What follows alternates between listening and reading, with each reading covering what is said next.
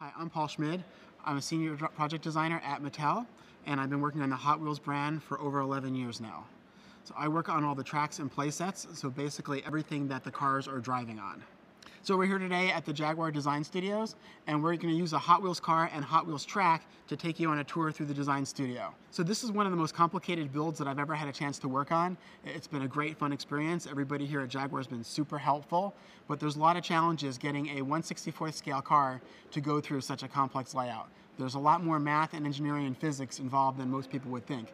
So we've got a Hot Wheels car traveling at anywhere between 350 to 400 scaled miles an hour with no steering and no driver. So every little bump on the road, every little twist and turn has to be laid out just perfectly.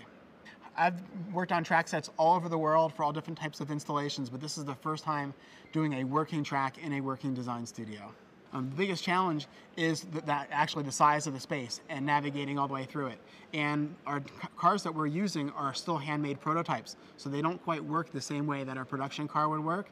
It's actually amazing seeing the car in full size. We've been working on the car in 164 scale, which is completely different look than a full size. In 164 scale, so much of the details just are not captured because of the limitations of the scale. So getting to see the car for the first time full size is really amazing.